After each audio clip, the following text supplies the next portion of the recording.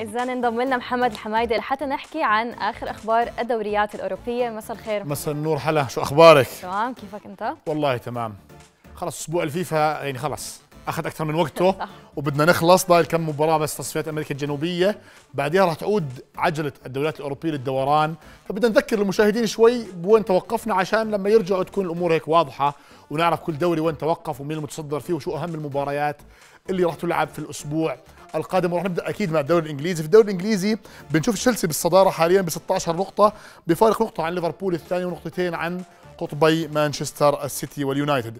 اليونايتد راح يكون في أخ في أك في أصعب اختبار ضمن هاي الجولة وهي مباراة من سلسلة مباريات صعبة جدا. لليونايتد القادمة راح تكون أمام ليستر سيتي خارج أرضه، أما تشيلسي المتصدر راح يلعب مباراة سهلة نسبيا أمام برينتفورد، ليفربول راح تكون مهمته كمان سهلة أمام واتفورد، وكذلك الأمر للسيتي اللي راح يلعب مع بيرنلي على أرضه.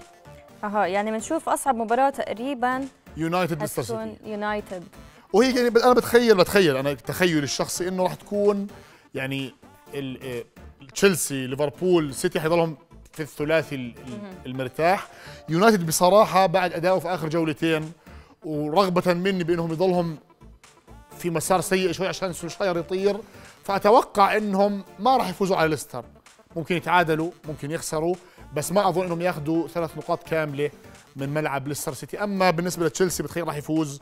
ليفربول كمان سهل نوعا ما. آه سيتي مش المفروض يواجه صعوبة ابدا مع بيرنلي. فأظن إنه المقدمة حيضلها تشيلسي ليفربول سيتي ولكن السيتي واليونايتد راح يفضوا الشراكة. لأنه أتخيل إنه ليستر على أرضه راح يكون صعب جدا على اليونايتد في ظل الأداء المتذبذب اللي تركونا فيه في آخر جولة قبل التوقف الدولي ودائما بعد التوقف الدولي بيكون هيك في شوي تحس اللعيبة جايين شوي لسه تعبانين مش زي مش ما بيكونوا بكامل طاقتهم. أه. فالله أعلم ولكن أتمنى اليونايتد ما يفوز عشان سولشاير يطير في وهل فرصة. وهل خسارتهم خسارة واحدة مثلا بتؤدي لخروج المدرب؟ هل هذا لا شوفي هي شوفي آه هذا سولشاير يعني أمه دعيت له الزلمه يعني ممكن مع ليستر ما يزبط حيجي بعد ليستر أتوقع مباراة بال Champions League. بعدين عنده سبيرز سيتي ليفربول ناسي ترتيبهم. عنده ثلاث مباريات صعبين. سولشاير تعالي حطيه في مباراة صعبة بيفوز. حطيه مع كلوب بيفوز. مع جوارديولا بيفوز. بس بيجي المباريات الصغيرة اللي هي أصلا أساس فوزك بالدوري هي المباريات الصغيرة وليس الكبيرة. صح. أنت خذ الصغار وباطح مع الكبار وخلص بس هو مع الصغار بيخسر ومع الكبار بيظبط. فحتى خسارته أمام ليستر سيتي لا أتوقع إنها تكون سبب في اقالته ولكن حتكون يعني هي كرة ثلج. مع ليستر حيخسر أو يتعادل. حيتراكم. حيجي مع سبيرز حيجي مع ليفربول إلا ما يكون في شوية تخبيص في الأيام الجاي. حتجي بالآخر الأمور يحكوا له معلم الله يعطيك العافية. مع السلامة. فبقول لك وهذا كله فقط لأنه أنا أرى أنه اليونايتد عنده ما يلزم أنه ينافس على كل البطولات. بس المدرب. نقصه الوحيد هو المدرب. فنتمنى يطير. سمعنا إشاعات تحكي زيدان سمعنا إشاعات تحكي كونتي.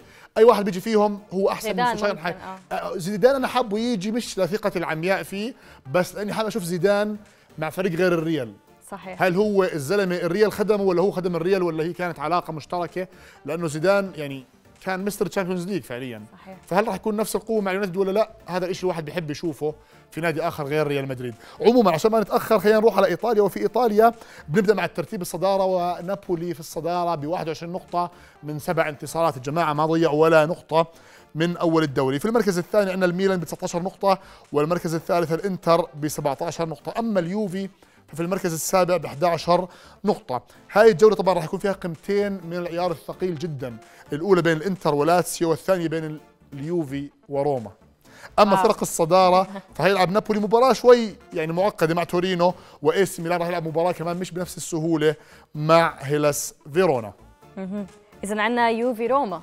عندنا يوفي روما وهي المباراة بصراحة يعني أنا بالنسبة لي يمكن هاي أهم من نهائي Champions League يعني أنا المهم اليوفي ما يخسر اليوفي يفوز أو يتعادل. غير هيك راح تكون الأمور صعبة جدا علي شخصيا. لا لا بعتقد تكون المهم نحضر مباراة حلوة صراحة. هي حتكون حلوة. شوفي اليوفي وضعه مش سهل. اليوفي عندك بنتنكور برجع ليلة المباراة جوادرادو برجع ليلة المباراة ماكيني الأمريكي انصاب مع المنتخب رابيو كورونا. فعندنا الوسط فيه لوكاتيلي ورامزي. يعني عندنا لاعبين وسط فقط الجاهزين. ولكن كمان روما عندهم تامي أبراهام المهاجم الإنجليزي انصاب امبارح في game إنجلترا مع المجر وطلع بعد ما لعب 10 دقائق فيعني الفريقين مش بأحسن أحوالهم ولكن أتمنى اليوفي يفوز عشان يعني بس يرجع ينافس يرجع يقرب من الصدارة يضلوا في المراكز ال- المريحة. لأنه اليوفي يعني من التوقف الماضي للتوقف هاد ما قصروا. عملوا اللي عليهم فأتمنى اليوفي يفوز. الإنتر ولاتسيو كمان مباراة ما راح تكون سهلة. يعني الإنتر مدربه هو مدرب لاتسيو السابق ومدرب لاتسيو الحالي هو ساري اللي هو يعني من أقوى المدربين هجوميا في الدوري الإيطالي فراح تكون كمان مباراة قوية. أها. عموما يعني ما يتمناه الجميع إنه نابولي يتعثر عشان ترجع الصدارة تولع. طيب. بالنهاية بنروح إلى أسبانيا طيب. وفي أسبانيا بنلاقي في الصدارة كل من ريال مدريد أتلتيكو مدريد ريال سوسيداد ب 17 نقطة، أما برشلونة في المركز التاسع ب 12 نقطة، هاي الجولة راح تكون معقدة نوعا ما على كل من ريال مدريد وبرشلونة، الريال راح يلعب على أرضه أمام أتلتيكو بالباو العنيد دائما واللي بغلب الكبار، أما برشلونة وأداؤه المش مقنع كثير فراح يلعب مع فالنسيا اللي بيكون دائما صعب على الأندية الكبيرة، أما أتلتيكو مدريد فراح يكون ضيف نوعا ما سهل على غرناطة وأتوقع أنه يعني تكون أموره سهلة نوعا ما أسهل من امور امور مين غرناطة ولا أتلتيكو؟ السهل. سهل لاتلتيكو مش لغرناطة آه، أكيد أنا بقى بالضبط بس طيب. النقطة إنه آه، الريال وب- وبرشلونة عندهم مباراتين صعبين قبل لقائهم في الكلاسيكو الأحد اللي بعده فهذا حيحكم يعني أنا بتوقع مباراتين برشلونة مع آه، برشلونة مع مين حيلعب؟ مع- مع فالنسيا. وريال مدريد. مع, مع اتلتيك بالباو. حتكون هاي المقياس لا ادائهم لا، بال... بالكلاسيكو 100% صحيح. 100% هشوفي الريال يعني يمكن آخر تذبذب كان يعني كان ممكن تفاديه بس برشلونة لسه ما أقنع. برشلونة إلى الآن مش برشلونة اللي ممكن أبداً. الواحد يراهن عليه يوم الكلاسيكو. صح. عرفتي؟ ولكن ولكن الكلاسيكو اموره دائما مختلفة. خلينا نشوف شو حيصير في هذه هاي الجولة. وبالتوفيق للريال ولبرشلونة قبل لقاء الكلاسيكو العظيم. أكيد.